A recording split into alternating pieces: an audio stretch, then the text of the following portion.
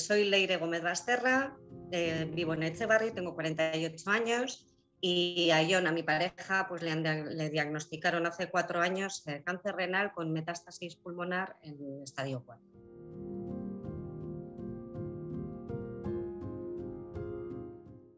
Pues eh, la verdad es que fue un shock.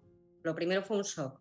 fuimos al urólogo porque orinaba en sangre, nos comentaron que tenía que quitarle un riñón, le operaron y en ese momento fue todo como muy rápido, fue todo quitarle el riñón, mandarnos a la oncóloga, no teníamos tiempo de procesar. Yo es que no tuve ni un segundo para procesar.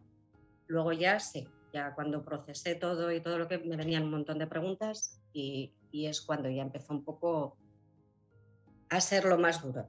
En un principio es que no me dio ni tiempo, fue como muy shock todo. Entonces fue hacer, hacer, hacer, hacer, hacer hasta que ya, pues ya empezamos con oncología y ahí ya sí, ahí ya me di cuenta de lo que venía.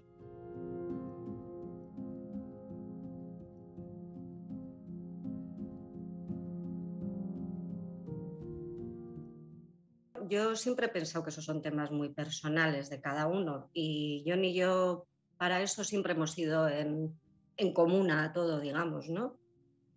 Y sí, yo creo que a mí personalmente sí que lo creo necesario y hoy por hoy sigo yendo a las consultas que veo que son primordiales, sigo yendo con él, porque creo que somos parte de lo que es todo el proceso de esta enfermedad, entonces, y de cualquier enfermedad. Entonces yo creo que sí, yo creo que es muy importante, muy importante estar ahí, las preguntas que te vengan, poder soltarlas tranquilamente y ser, es que somos una parte, o sea, somos tres, yo es lo que digo, somos tres. Ahora ya no somos dos en casa, somos tres, entonces creo que es primordial.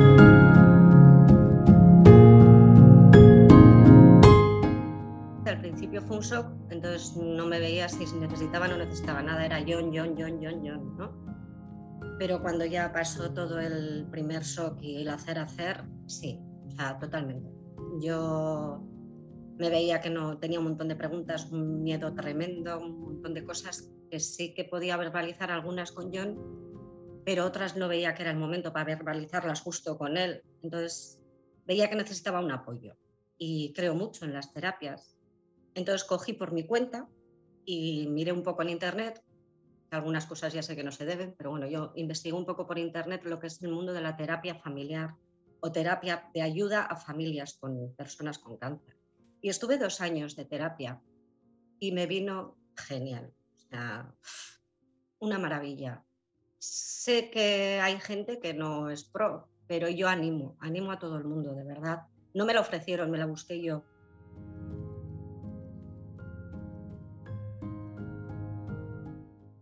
Con la primera medicación que le dieron, la verdad es que le hizo papilla. Le hizo papilla. Estuvimos tres años, los tres primeros años fue un cambio radical de todo, lógicamente. Eh, él no estaba bien físicamente, se nos truncó todo lo que teníamos pensado de viajes y demás.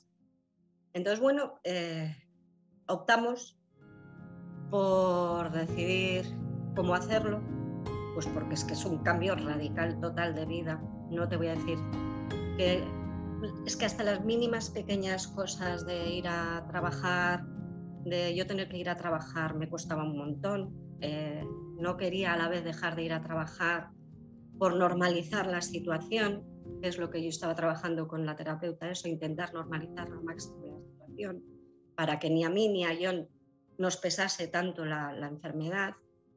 Y sí, cambia, cambia, la cosa cambia. Lo que estamos intentando para que tanto no nos cambie la vida, porque es que es, un, por ejemplo, una mínima cosa, tener como todo el mundo esas esperanzas de, bueno, pues vamos a ir, es que no te puedes ni, hacer en agosto vamos a, porque en agosto puede que no puedas. Entonces, al principio ni lo hacíamos, nos negábamos a, a, poner un mínimo plan. En cambio, hoy por hoy ya hemos intentado y hemos, yo creo que estamos consiguiendo normalizar tanto que lo que hacemos es vivir el momento, pero seguir haciendo planes. Eh, si vemos que John está jodido, frenamos nuestra vida, porque no queda otra pero en cuanto John puede y está bien, hacemos todo lo que siempre hemos tenido en mente o intentamos hacerlo. Ese es nuestro día a día ahora.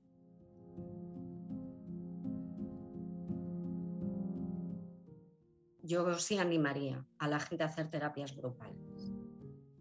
Eh, todo lo que rodea, lo que puedes ayudar, lo que te ayudan, es increíble, es increíble. Entonces yo sí animaría, incluso de verdad, animaría a todos los profesionales que, que desde un principio nos den ese instrumento de, de apoyo. O sea, tanto con el diagnóstico debería venir paralelo el apoyo a las familias y a todas estas terapias. Yo creo que eso es imprescindible. Pues eso, para terminar, yo simplemente dar muchos ánimos a todos esos familiares. si se necesita ayuda, por favor, buscarla. Eh, intentar por donde no quedaros estancados, eh, ya no solo por el, por el enfermo, sino por cada uno de nosotros. Al final es un trabajo en equipo, o sea, yo es lo que estoy viviendo.